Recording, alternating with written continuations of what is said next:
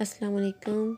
आज हम बनाएँगे काले चने, जिसके लिए हमने दो कप काले चने लिए।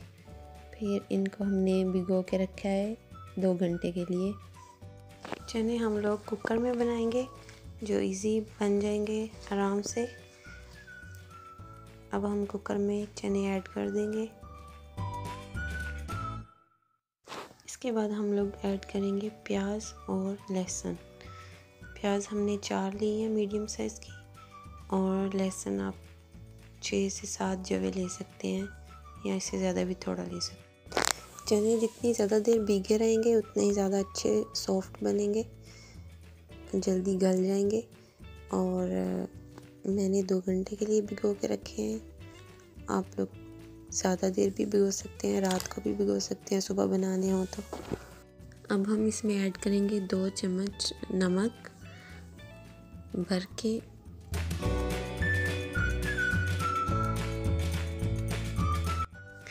वन टीस्पून ज़ीरा, साबुत। वन टीस्पून हल्दी पाउडर।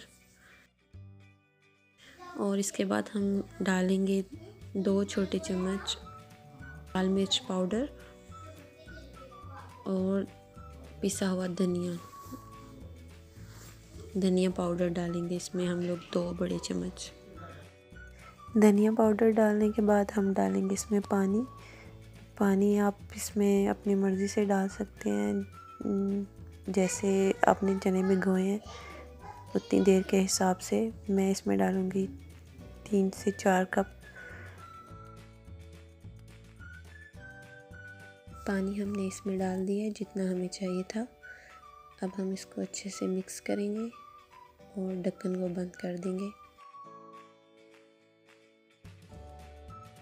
कुकर को बंद करके हम इसको 10 मिनट तक पकाएँगे। 10 से 12 मिनट के बाद हमने इसको खोला है। इसका सारा प्रेशर ख़त्म हुआ है, फिर हमने इसको खोला है। और ये आप लोग देख सकते हैं गल चुके हैं, चने अच्छे से। अब इसका पानी जो रह गया है, इसको हम खुश्क करेंगे।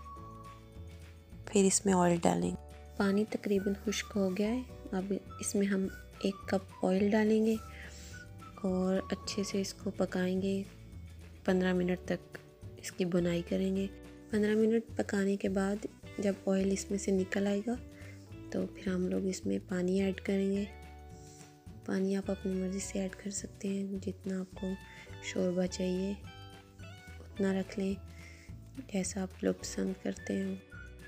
सबसे ज़रूरी चीज़ इसमें यह है कि जो पानी आपने, जिसमें चने भिगोए थे, वो फेंकना नहीं है। उसी उसी को बाद में यूज़ करना है। जैसे वीडियो में मैंने पहले आपको शो किया था कि पानी मैंने रखा हुआ है। अब आप उसको डालेंगे। अब हम इसमें डालेंगे थोड़ा सा और पानी, जितनी आपको ज़रूरत हो। और इसको पकने देंगे दस मिनट के लिए। मीडियम फ्लेम पे। फिर हम इसमें ऐड करेंगे तीन सब्ज़ मिर्चें, साबुत और हरा धनिया कटा हुआ। और इसको 10 मिनट के लिए पका 10 मिनट्स के बाद हमारे चने इंशाल्लाह हो जाएँगे रेडी। तो आप इसको किसी भी चीज़ के साथ, बॉयल चावल के साथ या फिर रोटी के साथ आप सर्व कर सकते हैं। लास्ट में हम लोग डालेंगे इसमें गरम मसाला वन टीस्पून। उम्मीद है आप सबको मेरी ये वीडियो पसंद आई होगी। इन फिर किसी न्यू रेसिपी के साथ मैं फिर हाज़िर होंगी। तब तक के लिए अल्लाह हाफिज़।